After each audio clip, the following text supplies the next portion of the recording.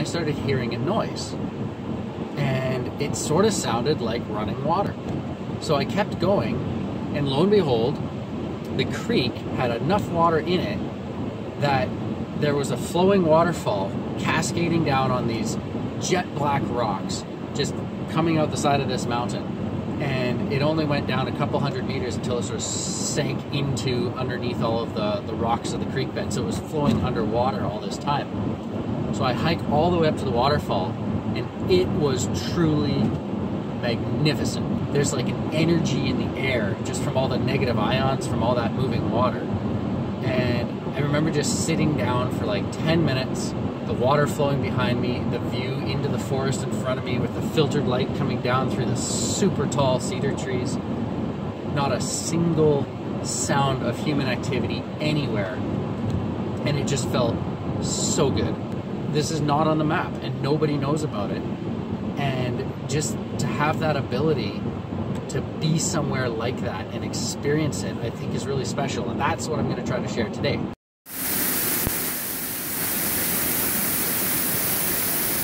No parking lot, no path. There's a little highway pullout where nobody ever stops. I decided, let's have a look up this creek. It's a dry creek at the bottom.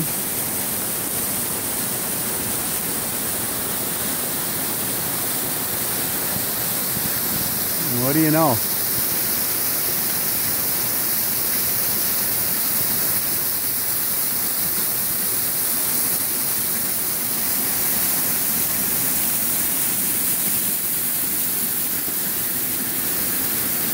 I mean, look at those trees. They're at least 100 feet tall.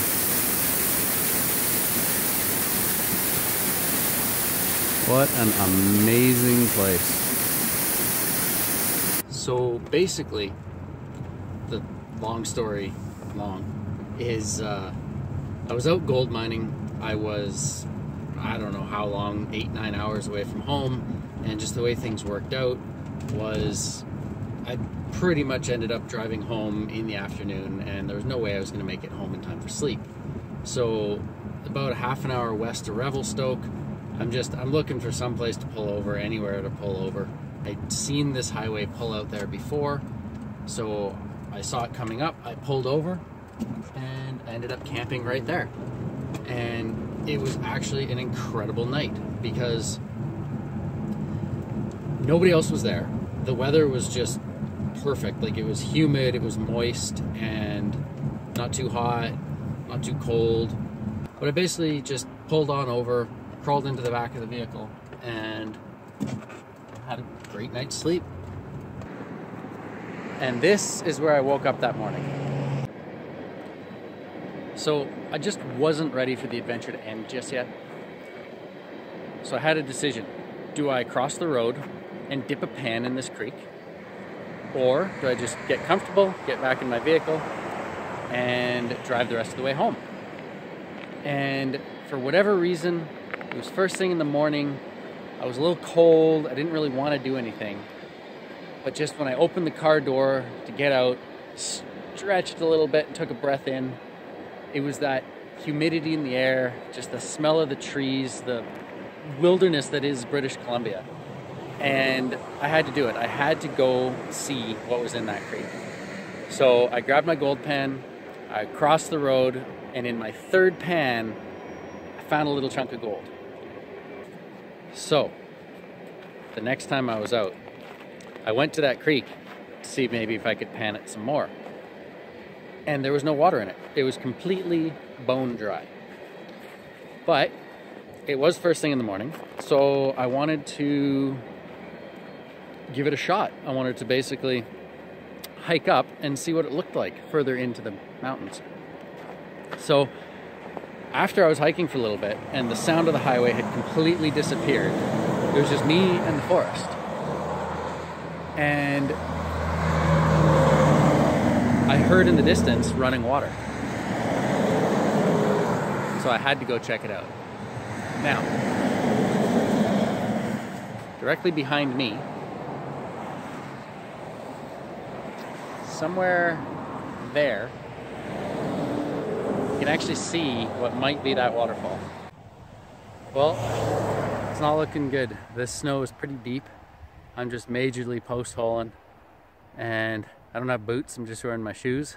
So breaking through and getting my feet wet in the creek for the next half kilometer.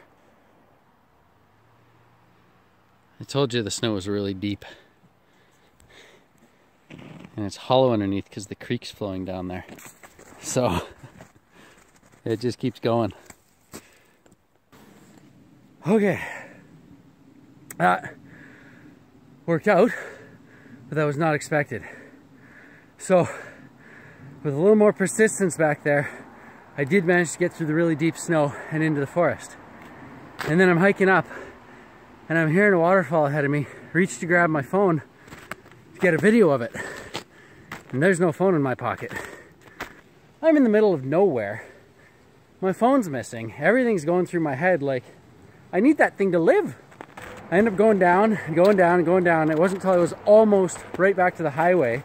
Of course, the closer I get, the more I'm concerned that it's just gonna be out here in the middle of nowhere.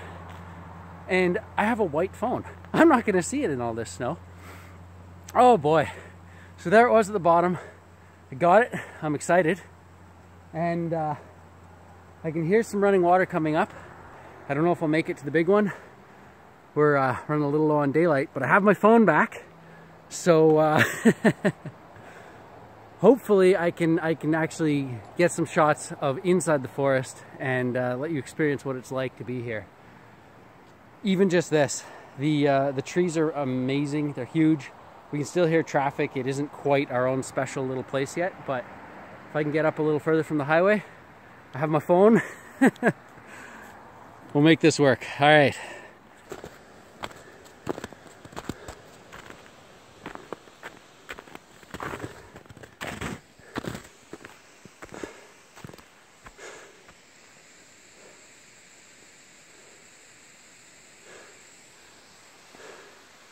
I don't know if that's it.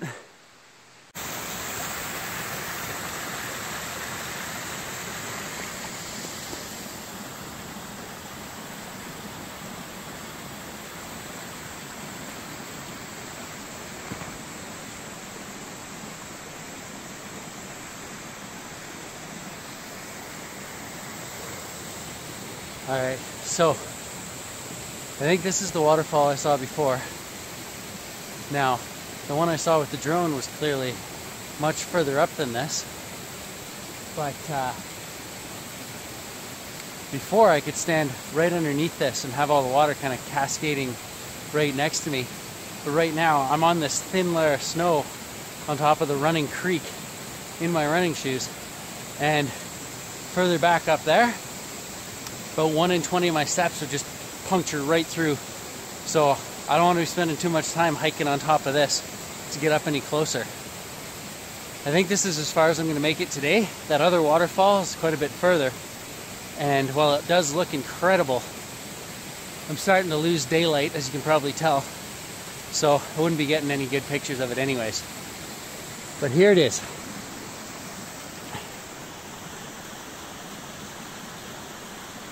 Water's pouring down. These trees just go up and up and up.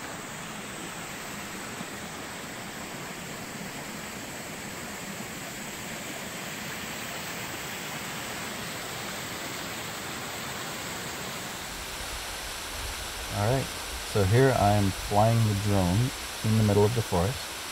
I set it just below the waterfall. I'm trying to have a look up at the waterfall. This is kind of nervous for me right now because I've got an old phone in this video and the connection from the drone controller to the phone is a little bit weak. I love that shot of the cave there, that ice cave. Really cool. But yeah, if that connection were to come apart at any time, which has happened before, the drone's going to return to home, so it flies up to a predetermined altitude. Now, I later learned that I could change these settings, but at this point, I'm kind of concerned that the drone's just going to take off. And as you're about to see, I'm right under some branches of a tree here, so turn around, and whoa, look at that branch. And I, I think it just nicks it there. So I look up at the drone and I, I try to bring it back down. The low light, it's having a little difficulty flying itself. give myself a little wave there.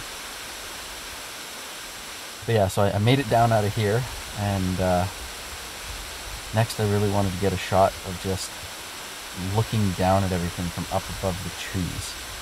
So I'm going to do my best to do that next.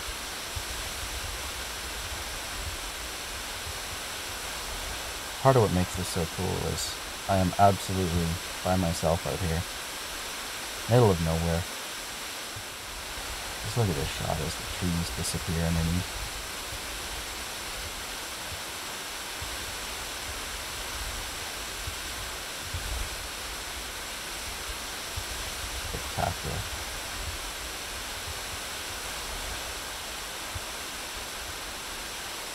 And even as the light is fading, it's still really cool just where I am in relation to the highway way down there. And then I look back down and I'm like, okay, which hole do I need to get this drone back down into? And I'd sort of lost my bearings a little bit, so I decided, okay, I'll find an open spot and bring it down. And then once I got down into the trees, I was able to sort of pause and hover, and then I looked up from the controller and I could see the flashing lights of the drone about 30 feet away from me. Uh, I was able to land safely and got away with some things this time. Here we are, landing the drone.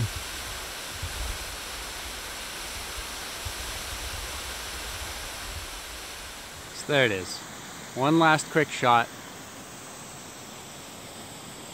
Just a hidden waterfall and a crazy drone pilot doing what he can to get her done.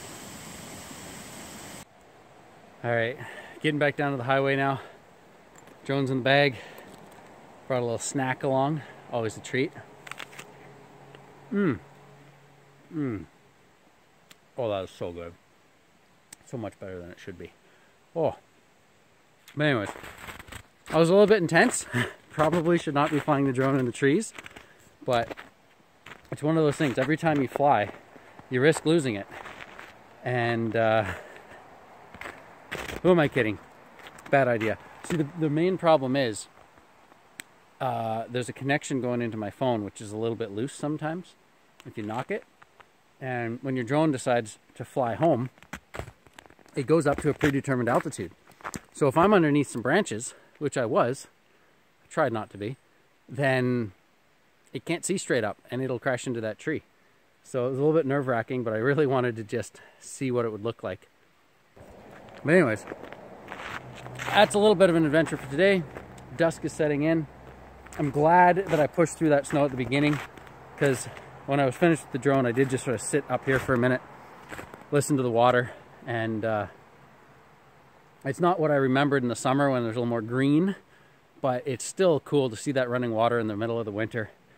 It looks cold here, there's a lot of snow, but it may be minus five at, at worst, so it's a good day to be out.